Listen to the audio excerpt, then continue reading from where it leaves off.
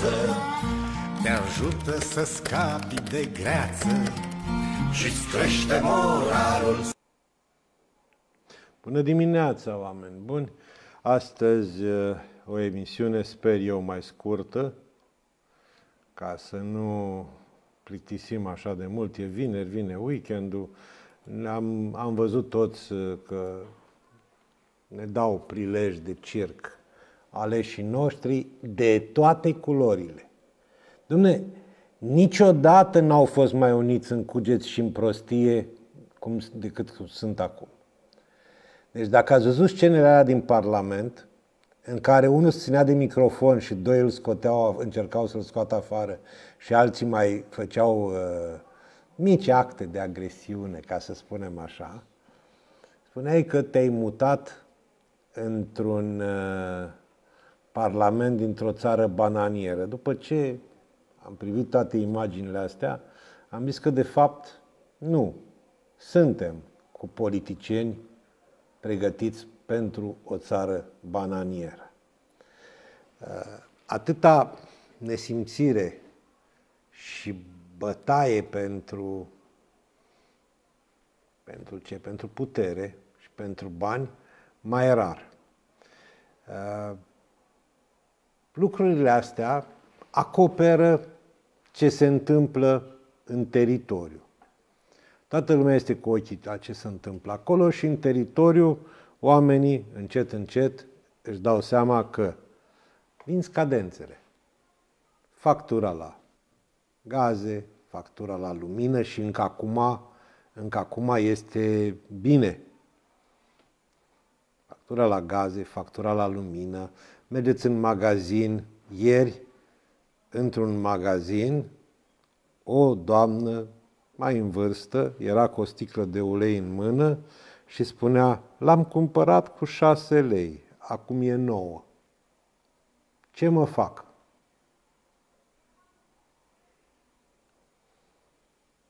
Cam așa stau lucrurile. Ăștia sunt politicienii care ne conduc și se pare că nu ne mai dau nicio speranță niciunii. Cei pentru care s-a ieșit în stradă se aliază cu cei din cauza cărora am ieșit în stradă și toate lucrurile astea acum distrug și ultimele repere pe care le mai avea cineva în această țară. Cu ce tupeu. Mai poate să vină cineva să spună noi suntem noi politicieni care nu facem înțelegeri cu retrograzii, cu ceilalți, sau cum poate să vină acum un partid precum Aur să spună noi, care suntem așa și care nu suntem naționaliști, nu facem niciodată o alianță cu ceilalți care este noaptea minții, de aceea multe lucruri n-aș vrea să mai discut despre asta. Dar să ne întoarcem un pic la ale noastre aici în Neamț. Țineți minte că acum trei săptămâni, patru, spuneam că Piatra Neamț este un oraș care schimbă codul administrativ. Primarul a plecat în concediu fără să lase un înlocuitor de drept, așa cum prevede ce cuvânt legea, ce cuvânt neacoperit de nimica legea în România. Deci a plecat, n-a lăsat pe nimeni, nu s-a întâmplat nimic pentru că nimeni nu poate să-i spună ceva unui primar ales, nu? Deși încalcă legea, el și cu cei care au acceptat asta. Ei bine, astăzi știți că vinerea noi invitam primăria să vină. Domnul primar se află la un fel de conferință pe politici verzi, nu știu dacă politicile verzi se referă la ecologie sau la alte lucruri verzi care interesează politicienii, dar dânsul este acolo împreună cu city managerul și la Piatra Neamț este doar viceprimarul Irimia, Lehăduș fiind în concediu. Numai că viceprimarul Irimia nu a fost desemnat înlocuitor de drept, pentru că asta nu se poate face decât printr-o ședință de Consiliu Local. Consiliul Local s-a întrunit între timp, dar nu s-a ales înlocuitorul de drept, probabil pentru că nu s-au hotărât încă cine dintre cei doi viceprimari tineri și de perspectivă poate să fie, poate să fie înlocuitorul, care dintre ei poate să fie înlocuitorul altui primarului și mai tânăr și mai plin de inițiativă. Așa că încălcăm legea cu voioșie. În dimineața aceasta am primit un uh, anunț cu privire la o ședință extraordinară a Consiliului Local Piatra Neam și am zis, da, sigur, sigur vom vedea faptul că, uite, avem, uh, avem în acest moment uh, un proiect de hotărâre ca să stabilească înlocuitorul de drept al primarului. Și ne-am uitat pe proiectul de hotărâre. Ca să vedeți, nu apare. Deși este o, o ședință extraordinară și de ce nu s-a făcut într-o ședință ordinară? Că sunt 11 proiecte într-o ședință extraordinară. Este inadmisibil ce se întâmplă. Genul acesta de administrație la HEIRUP, deci genul ăsta de administrație la HEIRUP, în ședințe extraordinare, ca să nu dăm materialele la citit dinainte, le dăm atunci pe ultima sută de metri, face rău orașului și nu numai orașului. Și face rău. Este toxică. În loc în ședințele ordinare să se dezbată lucrurile acestea, avem în ședință extraordinară hotărâre privind aprobarea documentației de atribuire pentru contractul de delegare privind concesiunea gestiunii activității de măturat, spălat, stropit și întreținere păi, căi publice. Parte componentă a Serviciului de Salubritate a municipiului Piatra Neamț. Păi, domnule, este o chestie importantă. Este o chestie care ține de curățenia orașului, care ar trebui să fie discutată, dezbătută și populația să fie informată înainte. Nu vii tu într-o ședință extraordinară și o faci așa, țoc, poc, cum îți convine ție ca să poți modifica. Un alt proiect de hotărâre este modificarea contractului de delegare prin concesiune a gestiunii chestii astea. Adică, prima dată aprobă documentația și în aceeași ședință modifică contractul. La urgență. De ce nu s-a făcut asta în ședința ordinară?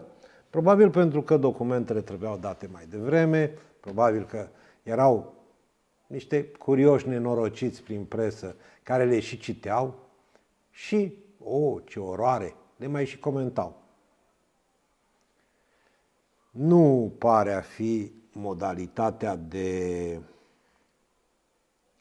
ședință așa cum ne propuneau la un moment dat uh, aleșii noștri.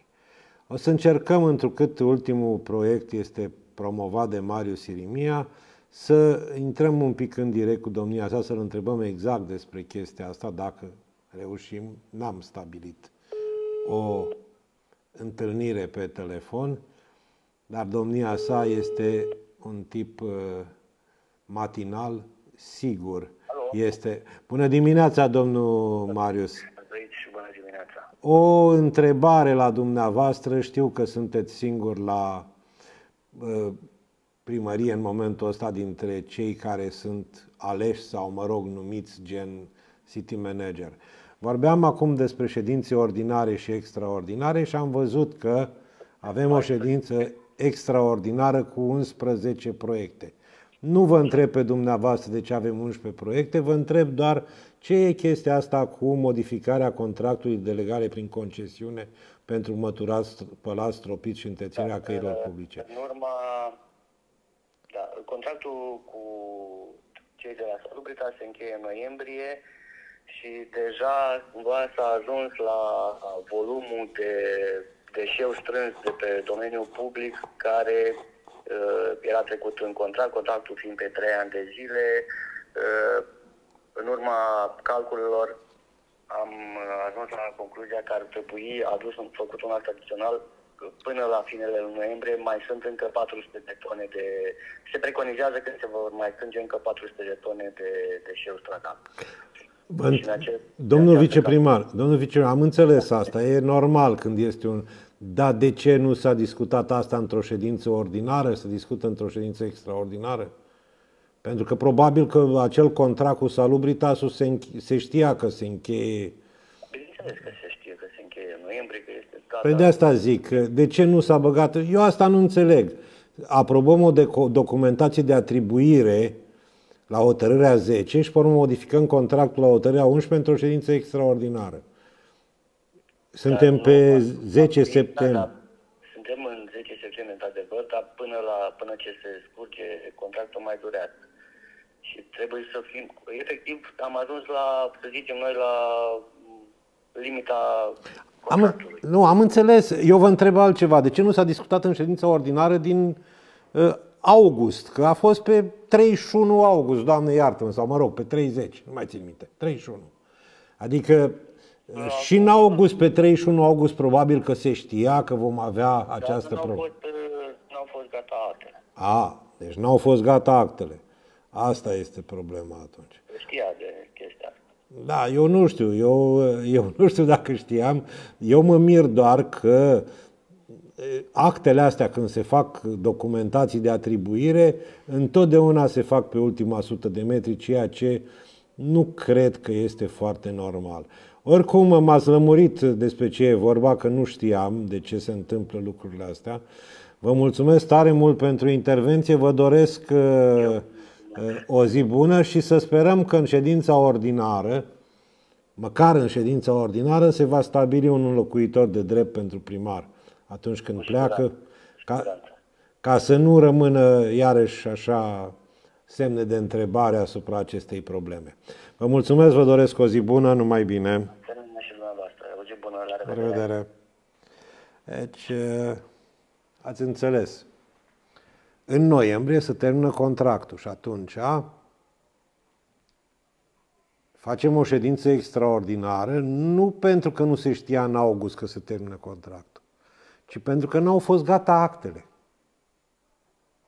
Asta este o problemă care ar trebui să-i dea de, gând, domn, să-i dea de gândit domnului Carabelea. În rest, nu vreau să vă mai spun care sunt acele hotărâri extraordinar, care au caracter extraordinar. De exemplu, aprobarea participării Direcției de Asistență Socială a Municipiului Piatra Neamț în cadrul proiectului, țineți-vă bine, Sărăcia energetică în România, documentare, informații și acțiune. Doamne, ne scoatem, ne scoatem, o să aflăm că suntem săraci energetici și asta are un caracter extraordinar. De aceea facem o, o ședință cu caracter extraordinar. Adică, hai să mai băgăm ceva, dacă tot mai este. Da. Haideți să trecem și la alt subiect. Știți, ieri domnul Câțu, prin voia celor de la USR și prin voia și dorința celor de la USR ales prim-ministru, acum prin voia și dorința celor de la USR în pericol de a-și pierde funcția de prim-ministru, a început să curețe țara de urmele USR Plus. Și a început el cu secretarii de stat, parcă sau nu mai știu cu cine, miniștrii au plecat, eșalonul următor, și a dat, a demis prefecții și subprefecții USR+. A dat și o declarație interesantă care, pentru cei care mai știu un pic de administrație publică, a părut așa, amuzantă.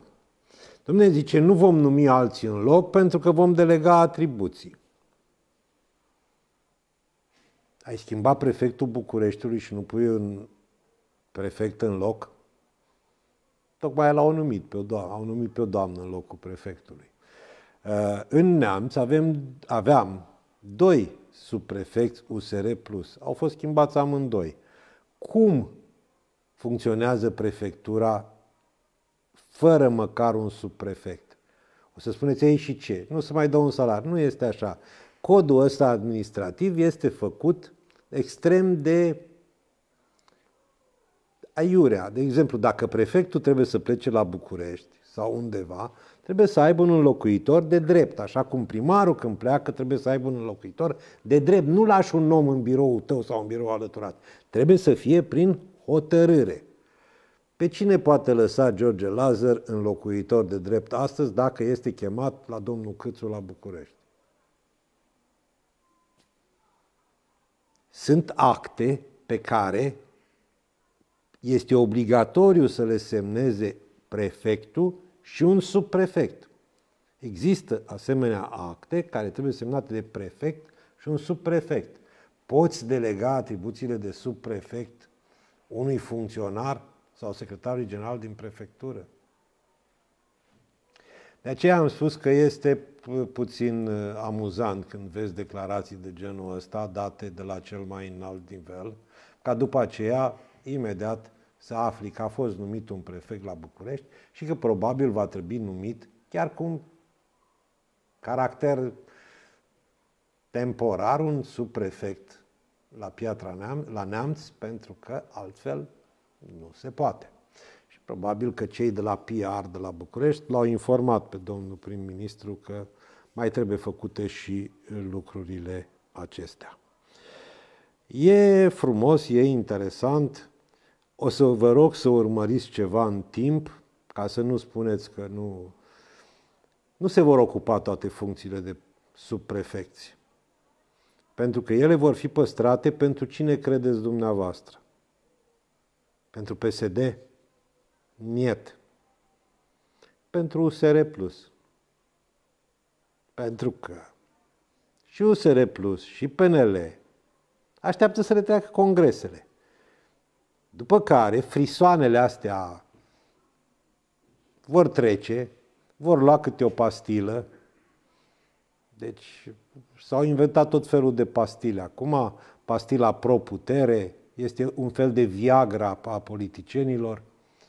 Uh, ea are culori diferite în funcție de perioadă. De exemplu, acum uh, pastila celor de la PNL are tente roșiatice, așa, celor de la USR, nu știu aur ce culoare are, probabil galbenă, ca și PNL-ul. De acum am dau seama de ce USR Plus a dus spre aur. Au confundat culoarea. Da. Deci țineți minte că locurile se păstrează pentru cei de la USR. Și doar dacă ei nu vor mai veni înapoi, se va elibera, se vor elibera posturile pentru alții. Dar dacă tot am amintit de subprefecți, haideți să vedem dacă reușim să... Ce vedem ce fac foștii subprefecți din, de neamț, dacă au plecat, ce părere au de ce li s-a întâmplat. Ia uite să vedem aici.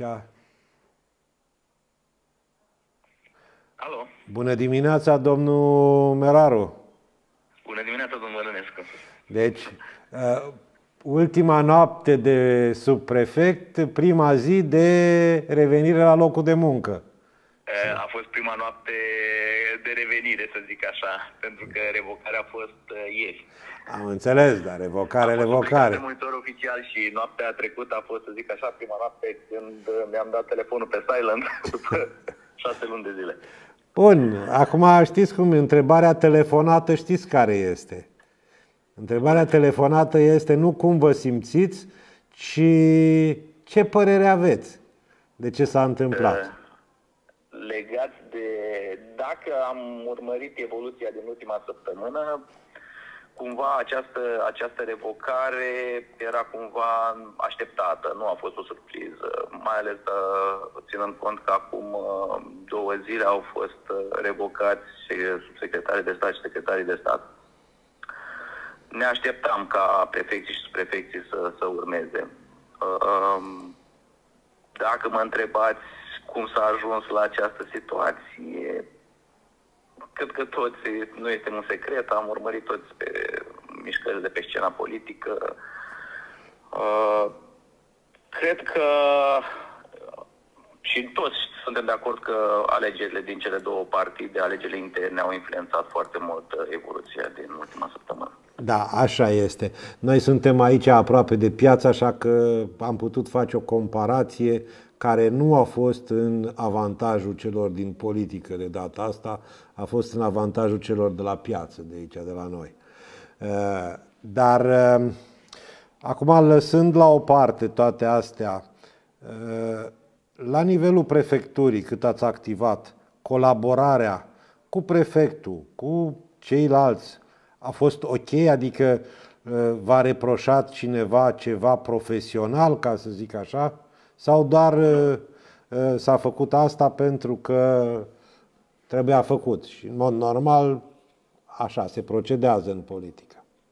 Am înțeles. Nu, în ultimele șase luni eu am evitat să fac politică, am făcut mai mult administrație. Uh, colaborarea cu colegii din instituția prefectului a fost o colaborare foarte bună, uh, inclusiv cu domnul prefect și mulțumesc pe, pe această cale. A fost o colaborare corectă, ne-am sprijinit reciproc în, uh, în măsurile pe care le-am luat nu, nu cred că decizia de, de revocare a venit strict uh, politic și de la nivel central, să zic așa. Nu a avut o... Uh, eu spuneam, eu spuneam o particularitate, în... da, particularitate pe, pe județul Eu spuneam înainte că da, da, făceam un pronostic că nu se vor ocupa toate funcțiile de subprefect, posturile de subprefect, și ele vor fi păstrate tot pentru USR Plus, pentru perioada de după congres. Sunteți un om care, mă rog, ați, aveți acces la deciziile din partid. Credeți că este posibil așa ceva? Da, deci dacă mă întrebați ca singura variantă pe care o văd uh, uh, o colaborare uh, a USR Plus este cu PNL-ul. Eu nu cred că o altă colaborare cu AUR, cu PSD-ul, ar putea să fie o colaborare pe care să o luăm în calcul. Cel puțin eu nu aș lua în calcul. Am înțeles. Uh, pare, să ne, să ne pare, pare o chestiune ce... contra naturii. USR, uh, AUR. Da, da, dar inclusiv USR PSD este o contra naturii și orice altă configurație pe scena politică nu cred că este o configurație pe care electoratul nostru o așteaptă. Păi... Dar noi trebuie să ne gândim și la, ce, la votul pe care l-am primit de, din partea alegătorilor. Ori niciun alegător care a pus ștampila pe USR Plus nu cred că se așteaptă să facem o alianță cu, vorbesc cu o alianță politică, cu AUR sau cu PSD-ul. Da, aici este marea problemă a acestei uh, perioade, că nu mai există niciun reper. Uh, foarte bună observația și sper uh, să ne vedem într-o emisiune în care să discutăm de data aceasta politica USR+. Mulțumesc mult pentru intervenție și vă Mulțumesc dorim și revenire plăcută în mediul civil, ca să spun așa. Mulțumesc mult! La revedere! La revedere!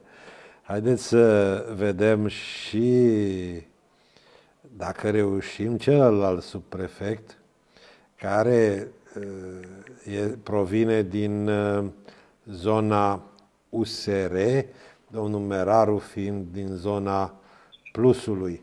Bună dimineața! Bună dimineața, domnul Bărănescu! Ce faceți? Uh, sincer, sunt uh, tot în birou de, de la prefectură. Nu ați plecat încă.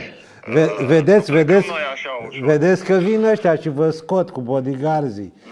Cum, cum l-a scos ieri dumneavoastră pe domnul, mă rog, nu dumneavoastră, ai dumneavoastră pe domnul Roman din Parlament. Nu chiar ai dumneavoastră, ai noștri. Acolo a fost o un, încălcare de procedură. Un mele, a fost un ce... mele administrativ ca la rugby. Da. uh, mai sunt treburi de rezolvat și la prefectură, de predat, de... Deocamdată nu avem cui preda, că nu există un alt subprefect, dar noi suntem disponibili. Am înțeles. Deci v-ați dus acolo, așteptați să vină un subprefect. Vă spun eu că nu vine, până luni nu vine. Nu e nicio problemă. Nu vine, pentru că, na, mai, mai așteptăm. Dar spuneți-mi un pic, uh, am văzut, ați, nu știu dacă ați văzut poziția domnului Meraru apropo de, de aur. Eu vă întreb, uh, uh, dumneavoastră care aveți un partid plin cu de toate, adică inclusiv detectoriști, am vorbit cu domnul Marius Sirimia înainte. Cum de-ați ajuns să căutați aur în Parlament? Uh, aur a ajuns și el în Parlament tot prin votul unor cetățeni. Uh, faptul că semnăturile celor de la USR Plus și aur s-au regăsit pe o, pe o listă, la fel de bine putea să fie uh, pe un proiect de lege, să spunem, pentru primari în două tururi. E doar o chestie de conjunctură, doar pentru această moțiune. Nu există o alianță politică sau ceva de genul ăsta. Deci, eu înțeleg așa, dacă aurul trebuie să vină să vă sprijine în moțiune, după care dumneavoastră vă întoarceți în guvern și ei se întorc în opoziție poziția USR Plus uh, nu a fost contra colaborării cu PNL-ul și cu UDMR-ul, ci contra premierului Câțu. Eu am înțeles, Dacă... dar pentru un om, dumneavoastră, practic, v-ați întors la 640 de grade, da? Apropo de aur, de la un partid extremist cu care nu discutăm, la niște oameni care au conștiință. Deci astea sunt declarații date acum, adică un partid extremist cu care nu negociem și oameni care au conștiință. Adică, da, e ok, n-am nicio problemă. Problema nu este la noi. Problema este de poziționare pentru dumneavoastră, exact cum spunea înainte și domnul Merar, doamne, nu cred că vreun alegător de la USR Plus s-a gândit vreo secundă că va avea această problemă, să se uite la așa. Dar este problema partidului, nu este problema noastră. Eu vă întreb acum cum a fost în prefectură cât ați lucrat. V-ați înțeles la fel de bine cu cei de acolo și cu prefectul, precum domnul Meraru? Da, a fost o experiență deosebită pentru, și pentru mine și pentru colegul Meraru, venind din, uh, din mediul privat, să spunem așa, din altă lume decât acea administrație uh, publice. Uh, am avut uh, parte și norocul să avem niște colegi foarte bine pregătiți și de la care am avut de învățat uh, multe lucruri, uh, multe lucruri bune uh, și din păcate vreau să spun că uh, sunt oameni care sunt foarte bine pregătiți și își fac treaba cu profesionalism, dar uh, problema este nivelul de salarizare mult mai scăzut decât, să spunem, a colegilor din primării, care lucrează pe același funcții sau echivalente și au un salariu mult mai mare.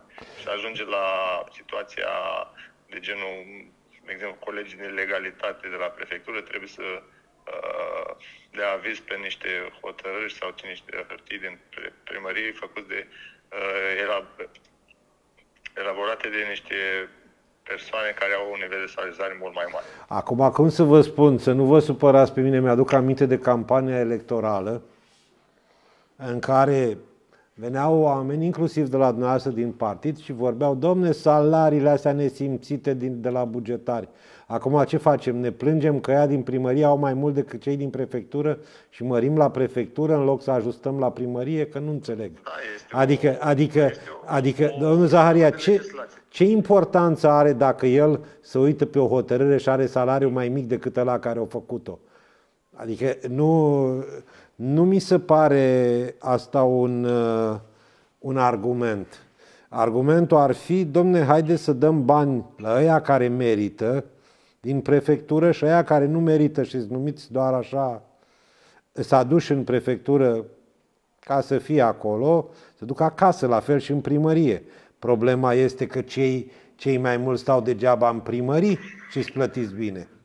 Acolo este problema și acolo da. Este că e nevoie de o reformă în toate domeniile în, în, în, în România. Sunt de acord cu dumneavoastră și în, și în privința clasei politice.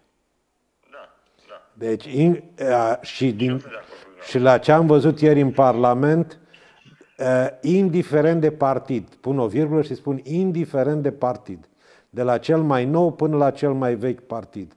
Pentru că modalitatea asta de a face politică folosind forța, și nu mă refer doar la forța fizică, aici uh, nu este normală nici pentru un partid tânăr.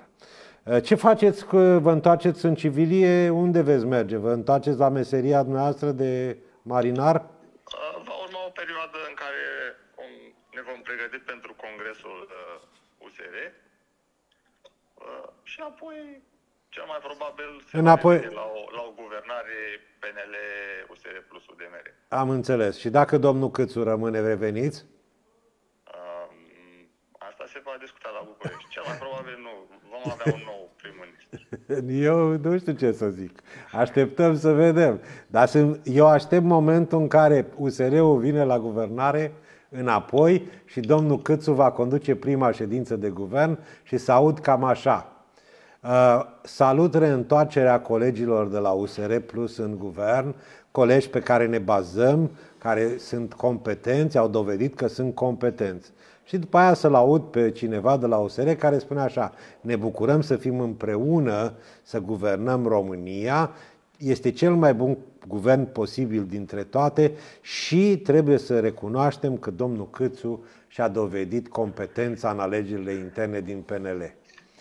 Aștept o, cu... lună, va- o lună va trece destul de repede. Aștept Acum, să văd aceste două declarații și dacă se întâmplă așa, uh, cred că nici PNL, nici USR nu vor mai primi niște voturi.